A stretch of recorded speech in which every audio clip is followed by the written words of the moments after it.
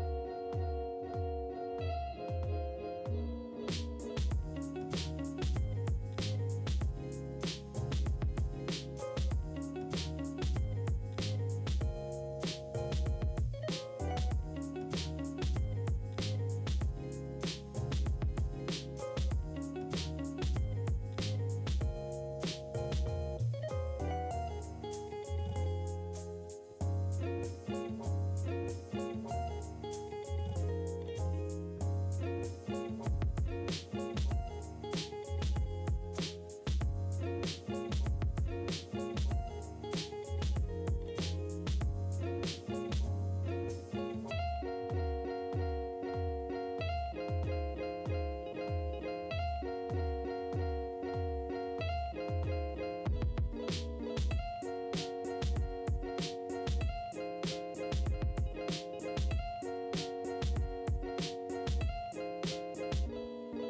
Okay you guys, so that is how I did my hair in this half up, half down using a U-part wig. So if you guys liked it, be sure to give me a huge thumbs up. Leave me a comment down below and check out Lavy Hair.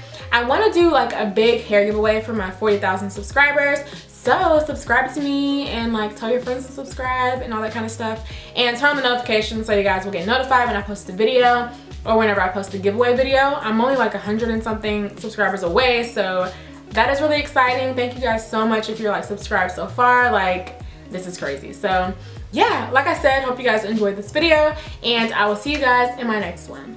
Bye.